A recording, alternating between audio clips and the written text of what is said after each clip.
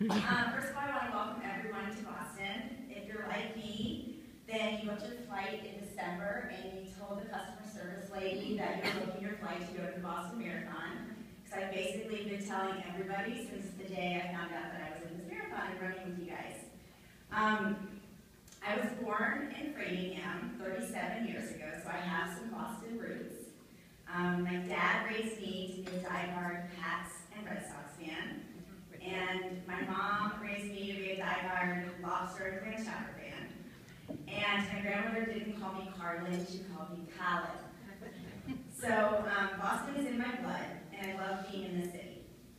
This is one of the reasons I stalked David, literally, for weeks before he officially told me I was accepted to run with all of you. Being here, and especially being asked to speak tonight, truly is a dream come true. I'm honored to share my story of why that this particular marathon for this particular cause was a must on my to-do list in life.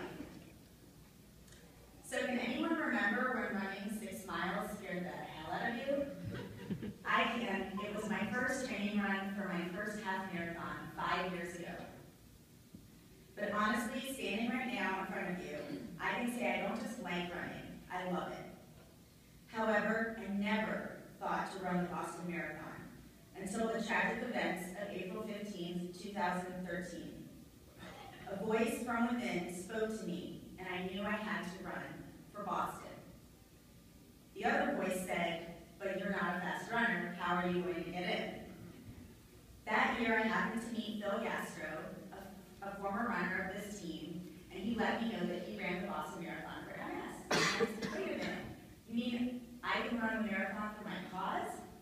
I knew that this had my name written all over it. The decisions I've made over the years led me to stand before you today. I believe that every day we have a choice to look at life from a positive or negative perspective. We have the power to allow tragedy to create purpose and take action rather than waiting for life to happen. I know I am here with all of you because I have chosen to walk, or in our case run, a life paved by optimism and opportunity. To start, it was October 1997. I couldn't feel the water hitting my arm in the shower. Then my left side fell asleep, and then my torso went numb. Within a day, I lost vision in my right eye. I was an invincible 19-year-old sophomore at Indiana University until I was given my diagnosis of multiple sclerosis. MS. The heck was MS? I had no idea. Thankfully, I was told to look up the National MS Society. I read that MS was different for everyone, that the symptoms varied, and that there were treatment options. Yes, I was really scared, but I was comforted by the love and support from my friends and family. However, any woe is me thoughts soon vanished when two of my best friends died 10 months apart in separate car accidents, the first a month after my diagnosis. I share this as part of my story because accepting their deaths was much harder at my age than accepting my MS. Rather than feel like life was unfair, I felt fortunate to be alive. I wanted to experience all that I could, not only for myself, but for their spirits too. Within the year of this, I had my first of many aha moments, and I declared a mantra I still say today. I will plant my feet all over this planet as long as I can. After graduation, I moved to Dallas, Texas. I was 23 when I happened upon a lunch and learn presented by my company by the director of the local MS 150, now called Bike MS. I walked up to the director and said, I have MS. It was the very first time I shared it with anyone that understood what that meant. Though I didn't own a bike and I was anything but a runner, I decided to step out of my comfort zone and join a friends and family team. The society asked if I would appear on the local news to promote the bike ride. My dad flew out to crew, my friends made signs to cheer me on, and I met other people like me. But most people I met it were much older, and had, but I had the earlier diagnosis. So I made up a joke that I had MS longer than I was legally able to drink, and that I'd never been an adult without it. Jokes aside, I liked fundraising, I liked make a difference, and I liked, loved the experience so much that I did it again the following year. In 2006, whoops, skipped a section. Um, fast forward to 2004. I followed my dream of living on the beach and moved myself to San Diego, California. Soon after I arrived, I called the society to get involved. Upon hearing asked if I was related to the chapter president, Alan Shaw. I laughed, totally confused, because I was not related to that Alan Shaw, but I was related to an Alan Shaw, my dad. Coincidence? I think not. I had an instant family. This family turned out to be incredibly helpful when at age 26, I had my next exacerbation. I woke up and couldn't get out of bed. My left leg was paralyzed. This will last for a week, and though I couldn't drive because I couldn't feel my clutch, I was able to take my, what I called wiggle of a walk, to the gym and use a recumbent bike, lifting my leg onto the pedal and making sure to stay active with my right. After a couple weeks, my body was back to normal, but I was forever changed.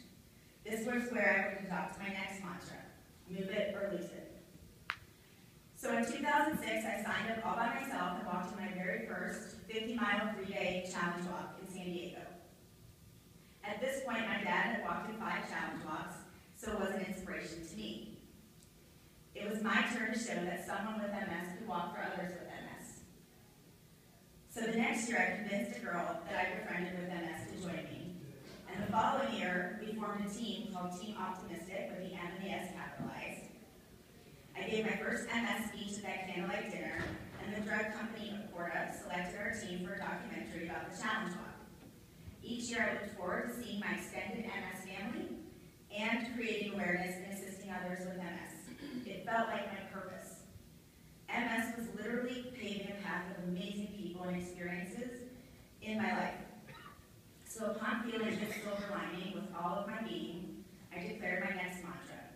Setbacks are stepping stones in disguise. By the time I walked my fourth challenge walk, I'd become a bit of a runner. Then one afternoon in late 2009 while at the beach, some friends challenged me to join them for a half marathon in the beginning of 2010. And after several beers, my arm was twisted. But little did I know this would be one of the best decisions of my life. By the end of 2010, I ran three half marathons. I had been bitten by the run bug hard. And each race, I planted my feet somewhere new, each time a little faster. I had MS, but MS did not have me. Fast forward to 2011, and after being let go from my job in San Diego, created a six-week cross-country road trip filled with 15 cities, lots of friends, and now lots of runs, and moved myself to Wilmington, North Carolina. I also started my blog, Strangers to Friends. I couldn't help but reflect on the serendipity in the form of friendships, especially with people that I met because of MS. Without fear, I followed my intuition, allowing one closed door to be the opening of another. Within the next year, I appeared on the Anderson Cooper Show to speak about my MS, and I had three more half marathons, including the New York City half. I ran my sixth, I got the tattoo Love Life on the back of my neck, at the base of my brainstem, and the top of my spinal cord, where I knew my lesion to be. I thanked my body for each step it allowed me to take, and every experience MS had motivated me to accomplish. I still get excited when a runner behind me notices it and asks me about it. I like to call it my bumper sticker.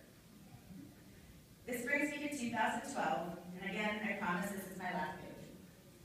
But I heard a whisper and bid farewell to the beach to take on the mountains, which is what brought me to where I'm living now in Denver, Colorado. Within three months, I ran half marathon number eight and signed up for the Portland Marathon. My friends followed along on Facebook, watched how I'd not allowed the label or the disease to hold me back, and called me an inspiration.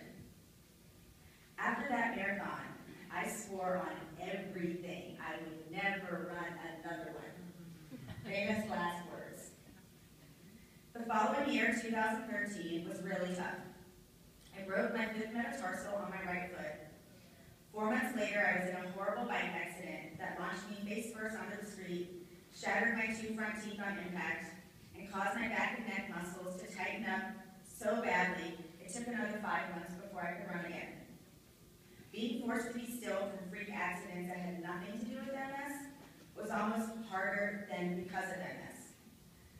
But while healing my foot without surgery, I was forced to rely on my left leg, the one paralyzed years before, which to me was a silver lining. So nine months post foot break, I drove to Moab, Utah for my first time and PR'd my ninth half marathon. To date, this is one of my proudest moments because I had to mentally and physically overcome a lot to make it happen. So here I am today, in the best shape of my life, ready to make my dream come true with all of you and take on 26.2 miles. My journey with MS seems to run parallel with my journey of running. Think back to the moment you decided to commit to the 2015 Boston Marathon to run with this team. You knew we were giving up sleeping in on Saturdays, but could any of us predicted all the snow? I salute your commitment because you made my Colorado winter look like a walk in the park. But just like our commitment to accepting MS and doing something about it, we put one foot in front of the other. We can't predict the storms ahead, but we can choose to power through life. Just like we power through 18 miles on a 30 degree day. By saying yes to this marathon, I said yes to so much more. I made the, chair, the choice to take on training for the past four months and raise money for my cause. None of us can control what happens to us in life, but we can control how we respond to it. And I couldn't ask for a more epic way to use my MS to motivate me than to run a marathon with all of you.